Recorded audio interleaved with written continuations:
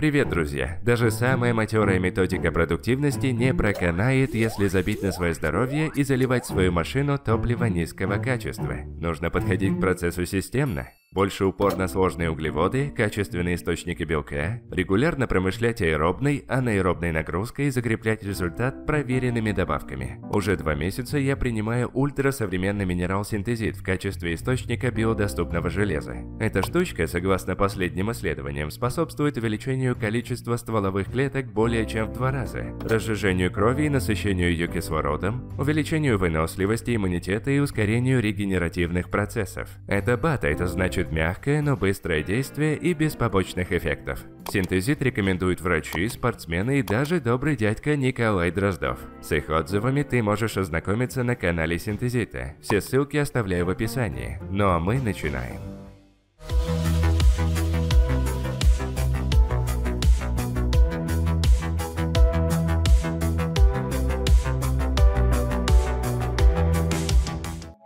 Неважно, насколько вы были продуктивны в прошлом, иногда бывает сложно выкроить энергию, чтобы включиться в работу над крупным проектом, над новой привычкой или одолеть длиннющий to-do-лист.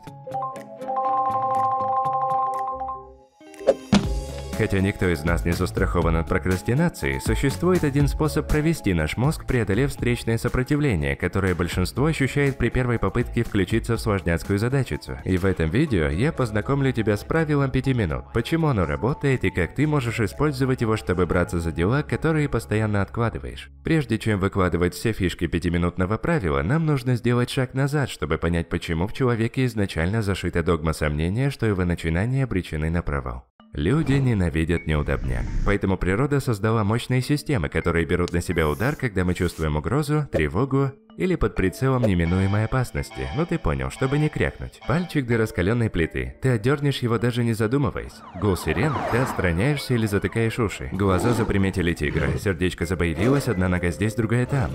И не важно, что это парниша с принтом тигра, нашему телу по барабану, при малейшей угрозе она готова и с места в карьер. Эта реакция называется «бей или беги». И хотя это отличное подспорье, чтобы не умереть, реакция эта не была заточена под умственные и эмоциональные невзгоды современного мира. К сожалению, благодаря миллионам лет эволюции, такая операционная система дается нам с рождения – для нашей лимбической системы чувство тревоги, которое ты испытываешь накануне важной презентации, равноценно панике от совместного душа с паучарой размера морской свинки. Любой намек на угрозу, от паука-монстра до нагнетающихся дедлайнов, провоцирует выброс адреналина и кортизола, который активирует наш самый мощный инстинкт самосохранения. И стоит этой красной лампочке загореться, твое тело сделает все возможное, чтобы выбраться из этой передряги. И хочешь верь, хочешь нет, но эта лампочка поможет дать бой прокрастинации. В своей книге «Переключайтесь. Как меняться, когда это непросто» братья Чип и Дэн Хис объясняют, почему прокрастинация – это результат конфликта между эмоциональным и логическими полушариями мозга. В двух словах, эмоциональное всегда грезит по комфорту и уверенности чтобы избегать задачи, которые не предполагают немедленного вознаграждения. Это часть мозга в ответе за твои тщетные попытки вырваться на пробежку, даже если у тебя там бодрый музон. Дальше логическое полушарие. Оно просто создано для долгосрочного планирования. Может показаться, что это идеальное орудие против сложных проектов, но зачастую эта зона загоняется и переоценивает задачу, если она кажется слишком сложной. Аналитический паралич. Так как же перехитрить свое серое вещество с его большой красной кнопкой в момент, когда ты знаешь, что нужно работнуть? Ответ прост до безобразия. Понижай ставки. Написание романа требует годы разных правок. Подготовка к марафону – это практика на месяца. Да даже снять 15-минутное видео на YouTube может занять у тебя недели. Неудивительно, почему мы не хотим браться за такие громады, когда на кону столько времени и энергии. Решение. Упрощайся по полной.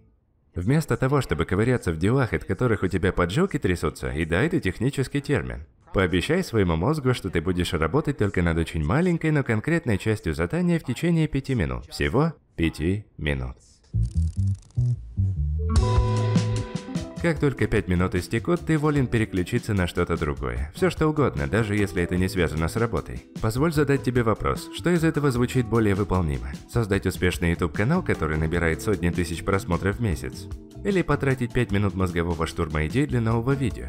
С какой задачей начать будет проще? Да и проще выполнить-то.